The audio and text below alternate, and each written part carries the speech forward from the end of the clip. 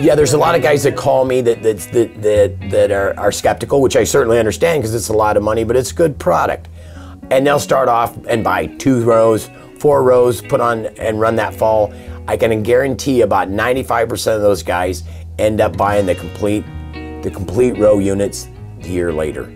So in 2019, I put uh, four rows of the stalk rolls on an eight row head and was impressed with what I seen definitely, especially going into the next year as watch the residue break down.